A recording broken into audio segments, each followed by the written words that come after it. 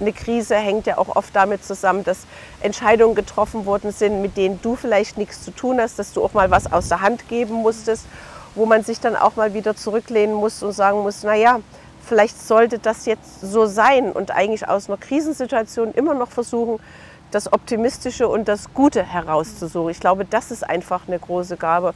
Und da glaube ich wirklich, dass, dass, dass ich die so habe, dass egal, was um mich passiert, alles irgendwie zusammenbricht. Ich denke immer noch, irgendwas Positives muss schon noch dabei rauskommen.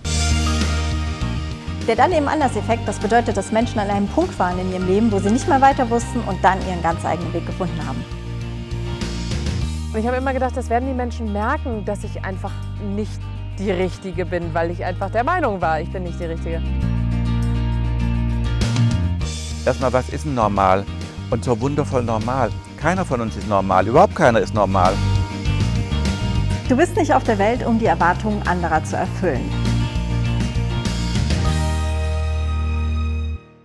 Wir melden uns zurück aus unserer Sommerpause heute mit einer Ikone des deutschen Sports. Katharina Witt, mit ihr möchte ich gerne darüber sprechen, warum wir in unserer Gesellschaft wieder mehr auf Leistung setzen sollten, warum es ihr so wichtig ist, Menschen weltweit und inklusiv den Zugang zu Sportangeboten zu ermöglichen und wie sie sich ganz persönlich fit hält. Herzlich willkommen, Katharina Witt. Schön, dass Sie da sind.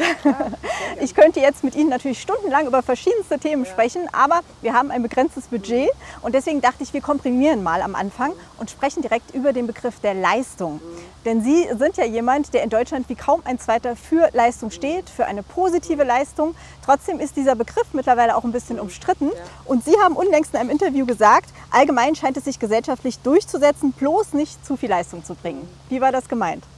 Ja, so gemeint, wie ich es gesagt habe, weil man hat tatsächlich wirklich das Gefühl, dass wenn jemand zu leistungsstark ist, dass man dann plötzlich als zu ehrgeizig gilt oder dass ähm, eine gewisse Gleichmacherei den Vorgang, äh, den Vorrang bekommt, um vielleicht auch eine gewisse Form von Gerechtigkeit herzustellen, was ich aber glaube in dem Moment einfach falsch ist, wenn man schon mal zum Beispiel im Sport ist, gerade ich, die vom Leistungssport kommt, wo es natürlich immer darum geht, du willst die Beste sein.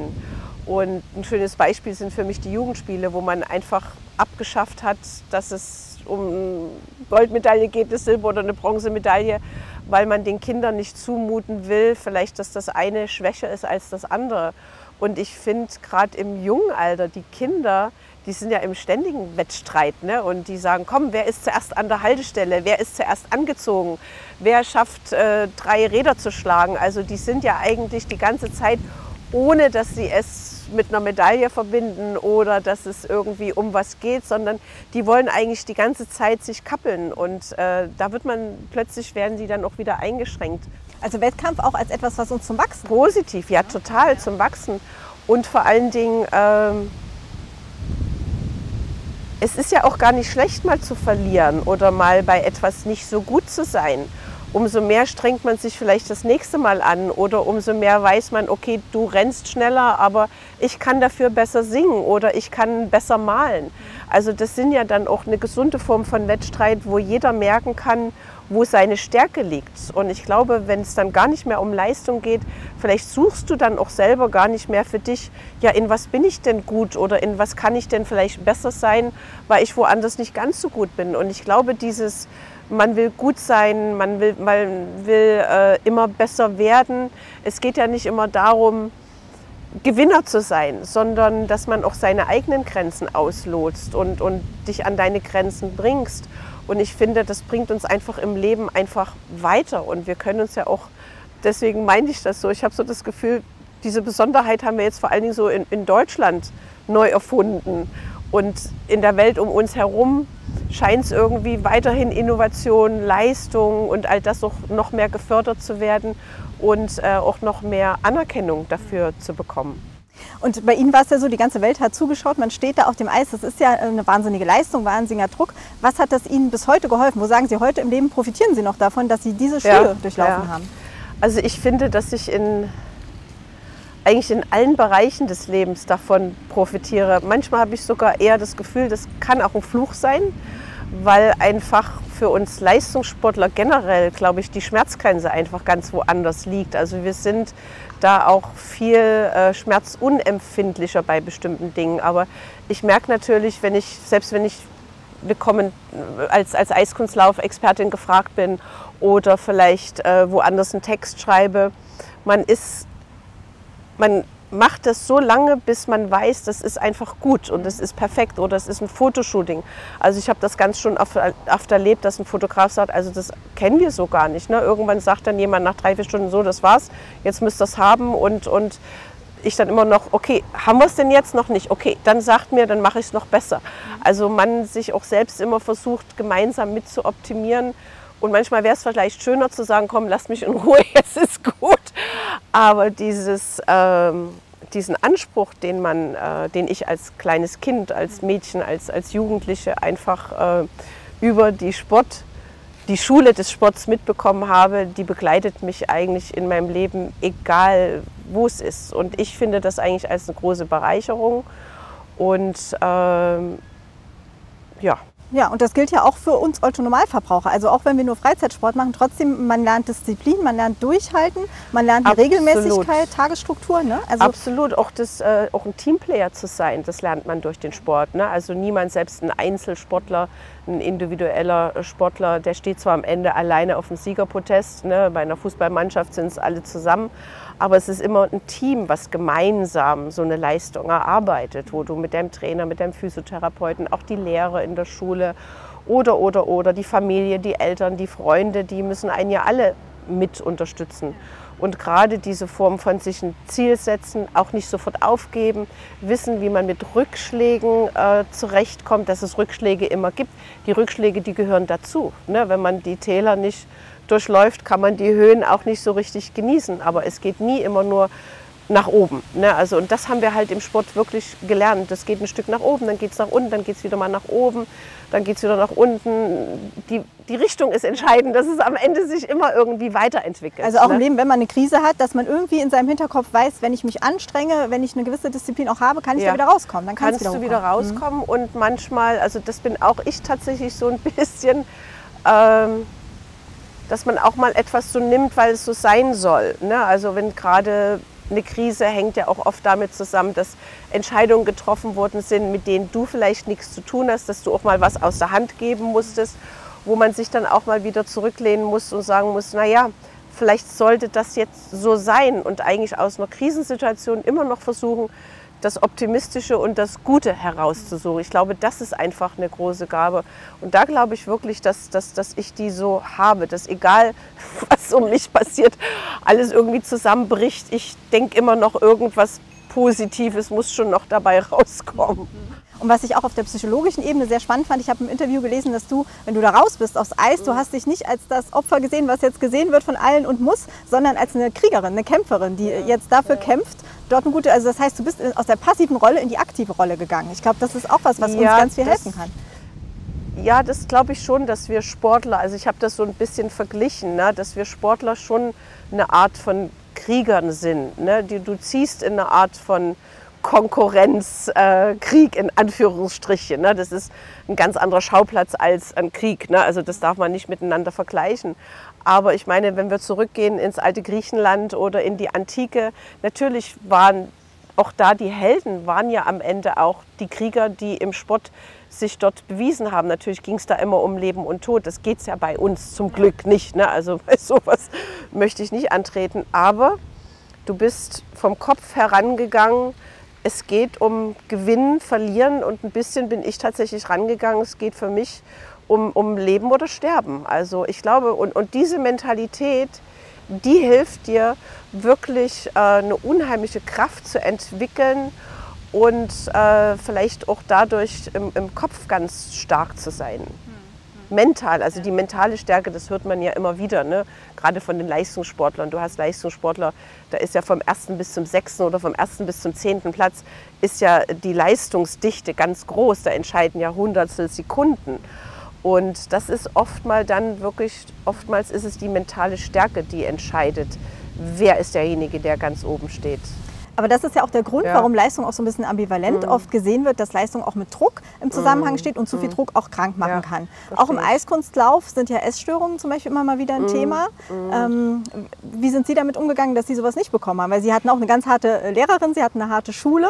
Sie haben auch äh, wochenlang nur Reis mit Süßstoff essen dürfen, habe ich gelesen.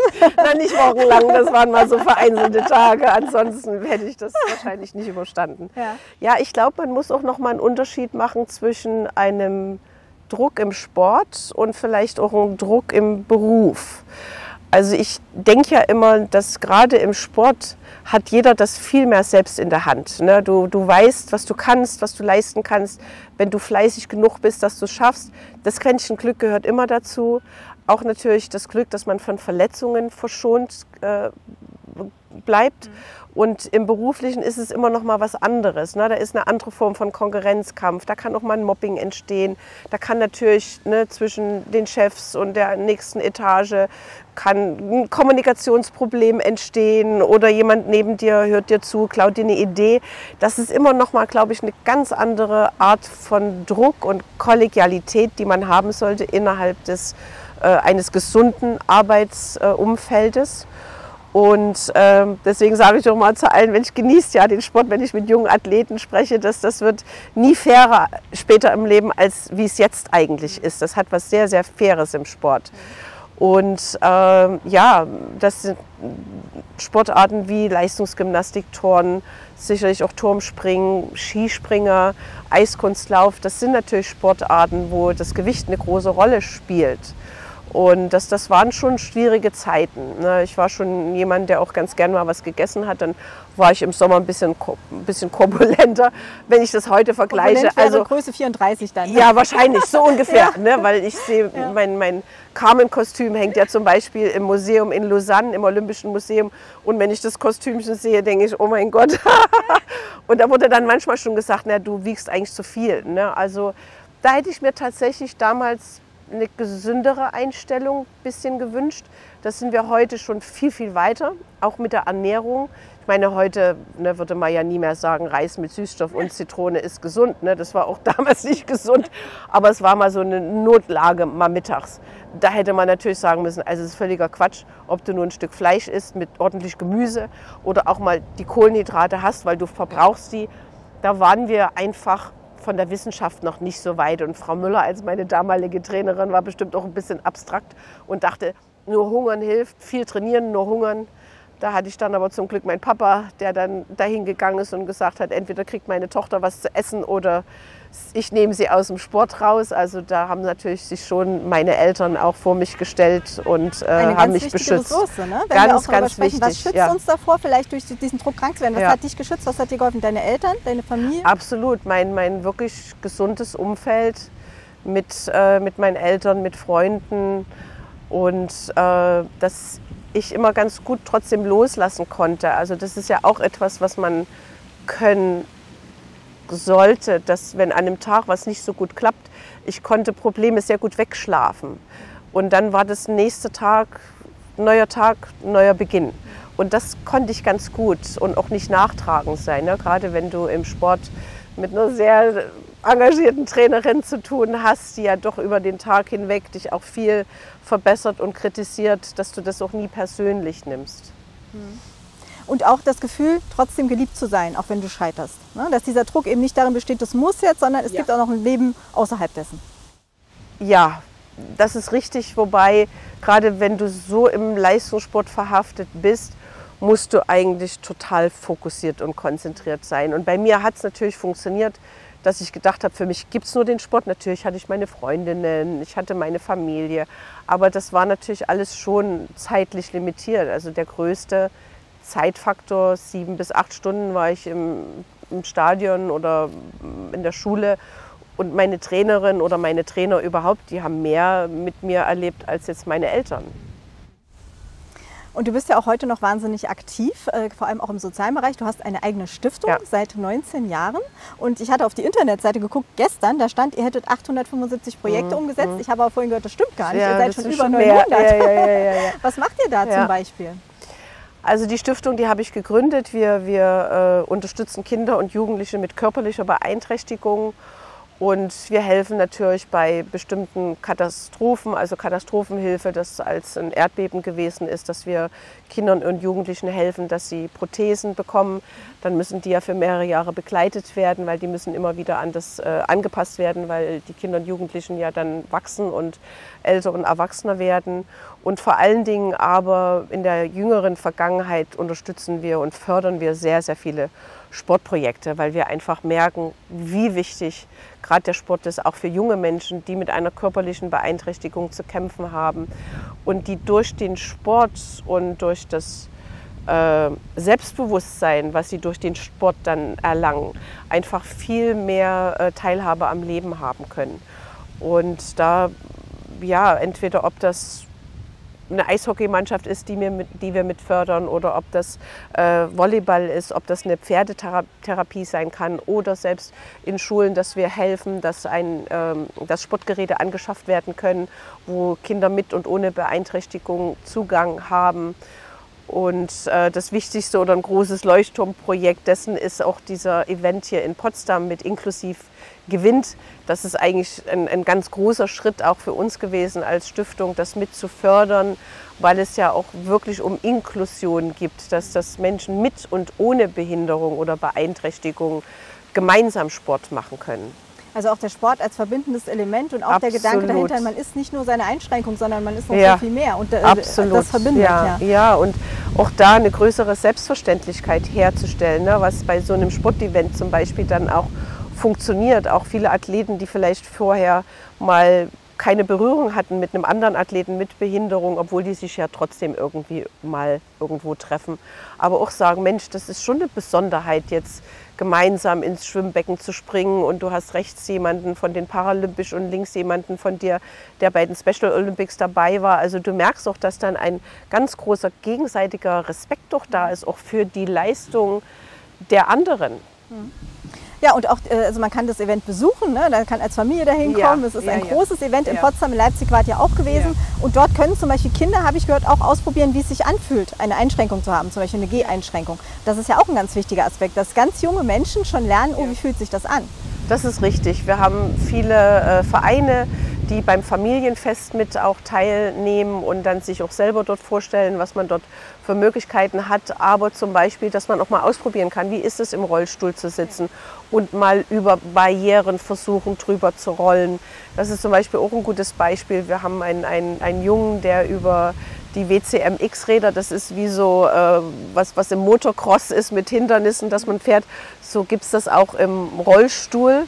Und äh, wenn die Kinder das genügend trainieren, kriegen sie halt genügend Ober, Oberkörpermuskulatur, Armmuskulatur, Koordination und dann können sie sich auch freier im, im täglichen Leben äh, bewegen. Also zum Beispiel auch mal Treppe mit einem Rollstuhl versuchen runterzufahren, weil wir sind ja weiterhin, auch gerade was die öffentlichen Verkehrswege betrifft, ist ja noch nicht alles so ebenerdig oder so möglich, dass alle alles mit benutzen können. Ne? Und das gibt einem jungen Menschen dann auch die Möglichkeit, Mensch, trotzdem kann ich dank meiner Muskelkraft und der Koordination es schaffen, doch mit einem Rollstuhl eine Treppe zu überwinden.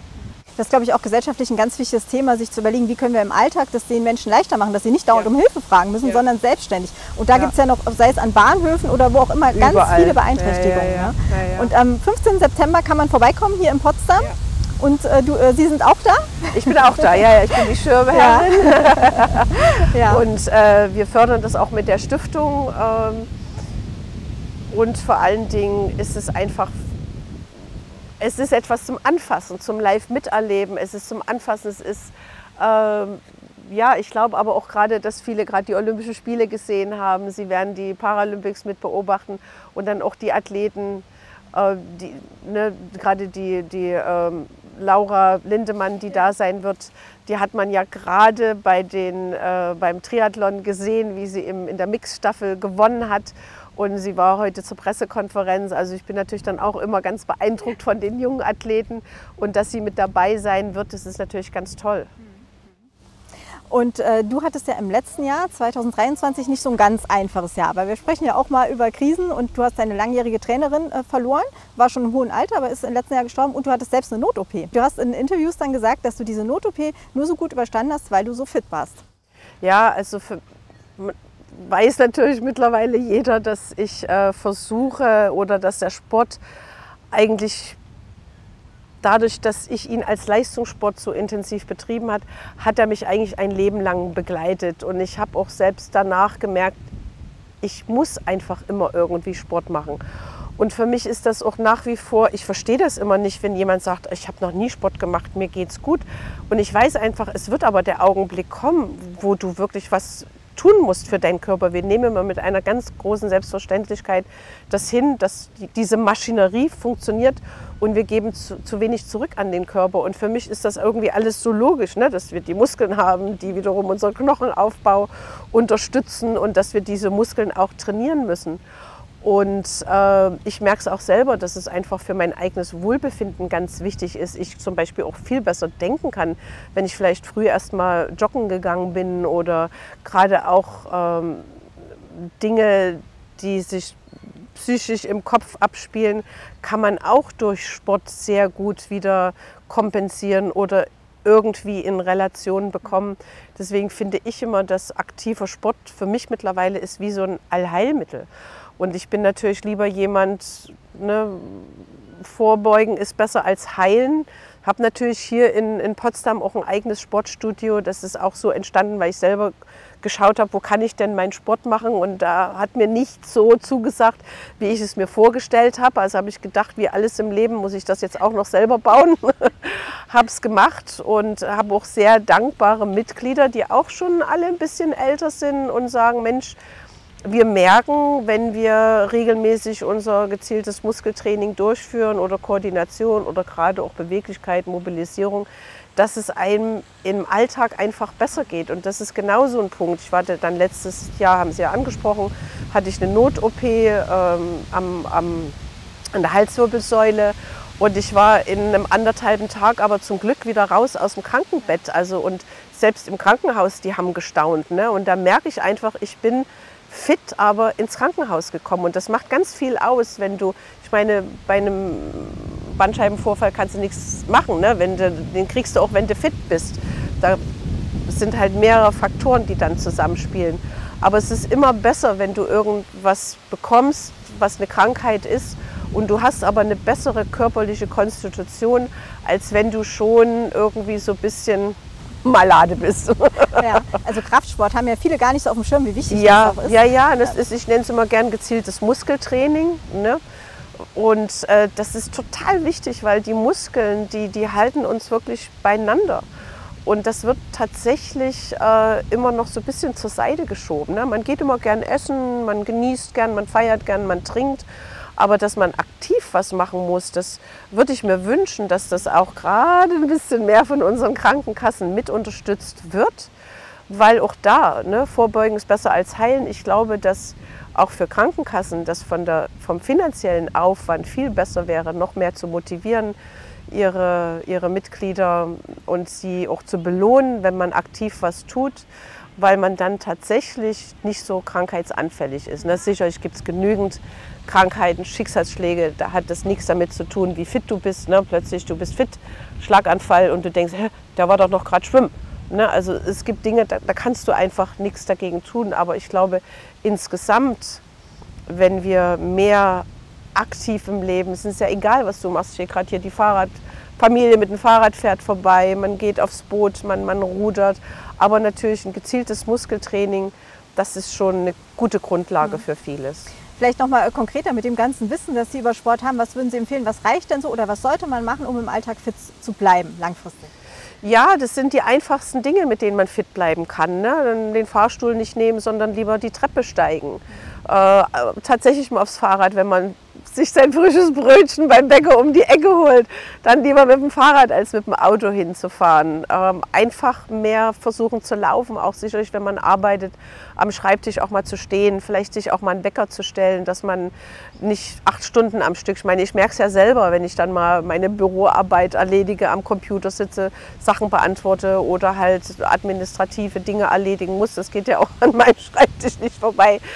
Aber da sind vier Stunden in 0, nix weg. Ne? Und du sitzt da und denkst, oh Gott, der Tag ist schon halb zu Ende und eigentlich will ich noch körperlich was machen. Ja, und Sitzen Und ist ja wirklich eine, eine Sitzen Krankheit ist, unserer ja, Zeit. Ne? Sitzen, das also, ist- sagt man mittlerweile, das ist das Rauchen. Ne? Also es ist eigentlich von der Gefährlichkeit, wir sitzen bis zu acht, neun Stunden am Tag, das ist eigentlich ganz furchtbar. Ne? Also dafür sind wir ja nicht gemacht. Also man sollte sich wirklich versuchen, mehr zu bewegen. Gerade auch da, da könnte man vielleicht auch mal einen Schreibtisch, der ein bisschen höher ist, sodass man mal steht, auch dann mal ein bisschen weggehen oder wenn man mit Kollegen sich unterhält, mal irgendwo hingehen, einen Kaffee trinken, nicht gleich wieder hinsetzen. Also man muss schon versuchen, auch bewusst Bewegung in den Alltag mit einzuarbeiten. Ein wunderbares Schlusswort. Vielen lieben Dank für dieses tolle Dankeschön. Gespräch und machen Sie weiter mit diesen tollen Projekten. Ja, danke schön. Vielen Ja. Dank. Ja, alle Infos zu uns gibt es wie immer auf dannebenanders.de und da gibt es auch alle Informationen zu unserer nächsten Lesung. Wir machen nämlich eine Lesung mit Kathi Karrenbauer, sprechen mit ihr über ihre Erfolge und Niederlagen und auch darüber, wie die Demenzerkrankung ihres Vaters ihr eigenes Leben beeinflusst hat. Ich freue mich aufs nächste Mal. Tschüss und bis bald.